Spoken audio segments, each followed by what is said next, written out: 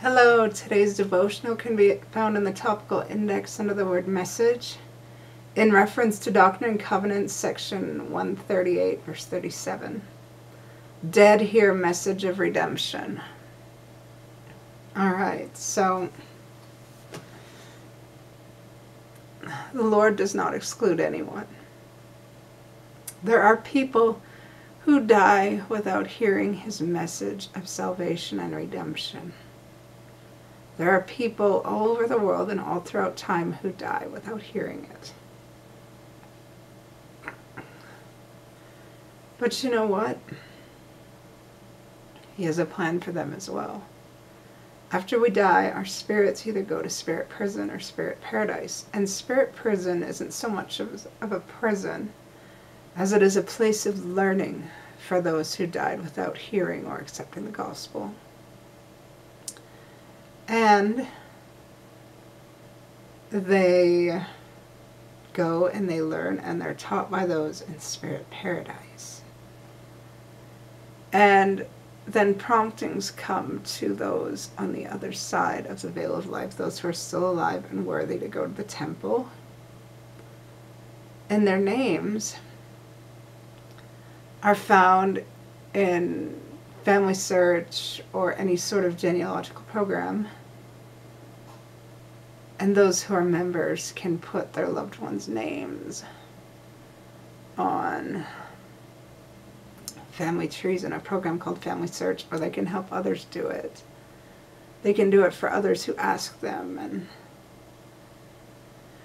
those names are printed on little cards, and they're taken to temples all over the world.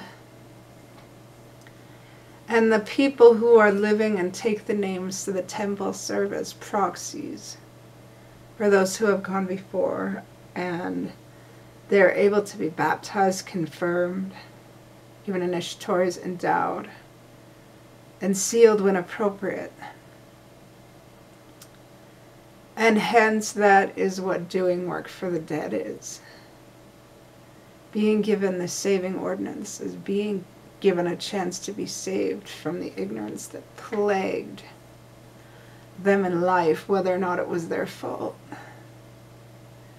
There are some who remained ignorant simply because the government and the circumstances of the time would not allow them to leave their ignorance because some people in power fear those who climb their way out of ignorance that they might be able that they might cause some real trouble so they use the law that is supposed to be fair and good to keep people in their ignorance by force with the threat of death or other terrible things happening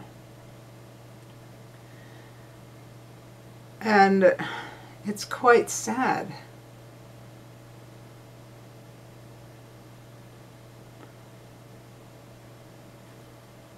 Because I'm sure lots of people want to know the truth. And people think that